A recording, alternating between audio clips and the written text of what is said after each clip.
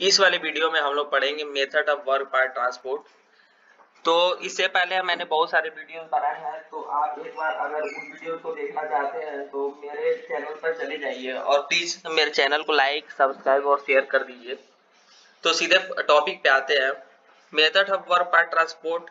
The transport mechanism of the automated flow line must not only move the partial partially completed work part or assemblies between stations, it must also orient and locate the part in the correct position for processing at each station. The general methods of transporting workpiece on flow lines can be classified into the following three categories. Basically अगर हम किसी भी work part हो गया या किसी assembly को दो एडजस्टेंट स्टेशन के बीच में हम लोग जब पहुंचाते हैं एक जगह से दूसरी जगह फ्लो करा करके ले जाते हैं तो इसमें जो हमारा ऑब्जेक्ट है या जो भी वर्क पार्ट है, उसको केवल ले जाना ही नहीं होता है, बल्कि उसको एक प्रॉपर ओरिएंटेशन में, एक प्रॉपर लोकेशन पर उस पार्ट को रखना होता है, ताकि करेक्ट पोजीशन में हम लोग उस वर्क पार्ट को रख सके और हर एक स्टेशन पे जो प्रोसेसिंग है, वो काफ़ी इजिली हो सके। तो जो वर्क पार्ट ट्रांसपोर्टेशन का वर्क पीस का एक जगह से दूसरे जगह ले जाना फ्लो लाइंस पे उसको हम लोगों ने तीन पार्ट में बांटा है। पहला कंटिन्यूस ट्रांसफ़र दूसरा इंटरमीडिएट और सिंक्रोनस ट्रांसफ़र और तीसरा ए सिंक्रोनस और पावर एंड फ्री ट्रांसफ़र है। पहला, उसके बाद the most appropriate type of transport system for a given application depend on such factors following factors है, जो पॉइंट वाइज करके मैंने लिखा हुआ है, छह पॉइंट्स में। तो पहला पॉइंट इसमें ये है the type of operation to be perform किस तरह का ऑपरेशन आपको परफॉर्म करना है, उस पर डिपेंड करेगा। दूसरा the number of station on the line कितने नंबर ऑफ़ स्टेशन है लाइन के। The weight and size of the work part whether manual station are included on the line production rate requirement balancing the various process time on the line तो ये different factors है जिस पर transport system depend करेगा आपका। पहला continuous transfer अब हम लोग देखते हैं एक बार। With the continuous method of transfer the work parts are move continuously at constant speed इसमें आपका जो वर्क पार्ट होगा, एक स्टेशन से दूसरे स्टेशन तक कंटिन्यूसली कांस्टेंट स्पीड पे मूव कराया जाएगा। This requires the work heads to move during processing in order to maintain continuous registration with the power, work part. ये वाला पार्ट इतना तो समझाने की ज़रूरत नहीं है। जो वर्क हेड होगा, उसको भी मूव कराते हैं हम इसमें, ताकि हम लोग continuous registration with work part maintain कर सके।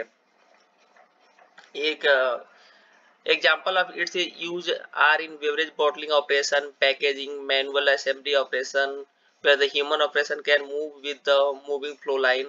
And relatively simpler, simple automatic assembly task. In some bottling operation, for instance, the bottles are transported around continuous rotating drum. Beverage is discharged into the moving bottles by spots located into drum periphery. The advantage of this application is the liquid beverage is kept moving at a steady speed and hence there are no inertial problem. Basically इसमें क्या होता है कि मान लीजिए हमको एक ऐसा ऑपरेशन करना है लाइक बोटलिंग का ऑपरेशन करना है, ठीक है? तो हम बीच बीच में क्या करते हैं, इसमें ह्यूमन का इंटरवेंशन थोड़ा बहुत ले सकते हैं। ह्यूमन आपके जैसे जैसे वर्क पार्ट एक पार्ट से दूसरे पर जा रहा है तो ह्यूमन की अगर असिस्टेंस की ज़रूरत पड़ेगी तो थोड़ा बहुत हम लोग हेल्प ले सकते हैं। तो यही थोड़ा सा समझाने की इसमें कोशिश की गई है। Continuous transfer system are relatively easy to design ये डिज़ाइन करना काफ़ी इजी होता है फेब्रिकेट करना काफ़ी इजी होता है। और इससे हम लोग बहुत high rate of production find out करते हैं। दूसरा है इंटरमीडिएट और सिंक्रोनस ट्रांसफ़र तो ऐसे, जैसे इसका नाम है कि इंटरमीडिएट तो इसमें नाम से ही पता चल जा रहा है कि हमारा जो वर्क पार्ट है वो डिसकंटिन्यूस मोशन के साथ एक जगह से दूसरे जगह पर ट्रांसपोर्ट होगा। हमारा वर्क पीस जो होगा एक दूसरे से दूसरे जगह पर कैसे ट्रांसपोर्ट होगा? इन इंटरमीडिएट और डिसकंटिन्यूस मोशन के साथ ट्रांसपोर्ट होगा। ठीक है? इसमें क्या होता है? आपका वर्क स्टेशन फिक्स्ड होते हैं। And the parts are move between station जो भी पार्ट होंगे, एक स्टेशन दूसरे के जगह पे मूव करेंगे, लेकिन आपका वर्क स्टेशन इसमें फिक्स होगा। उसमें क्या होता था? पहले वाले में कंटिन्यूस वाले में वर्क स्टेशन वर्क हेड्स जो होते थे वो मूव कर सकते थे मैंने उसमें बताया था आपको the work station are fixed in position and the part are moved between station and then registered at the proper location for processing.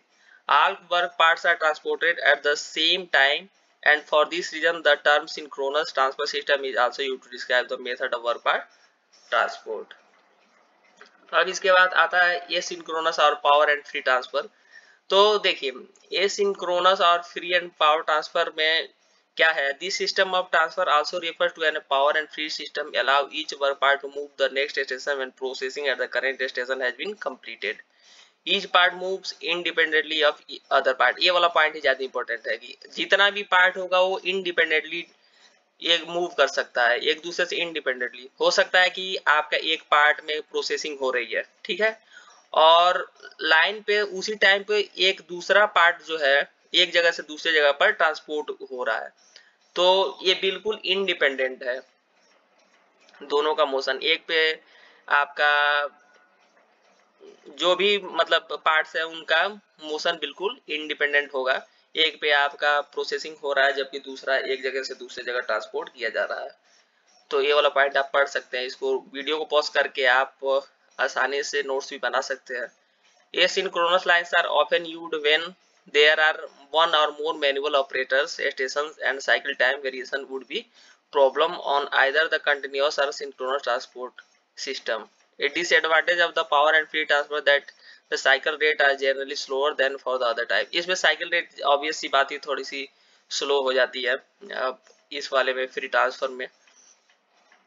इसको तभी हम लोग यूज़ करते हैं जब आपका एक या एक से अधिक मैनुअली ऑपरेटेड स्टेशन की आवश्यकता हो।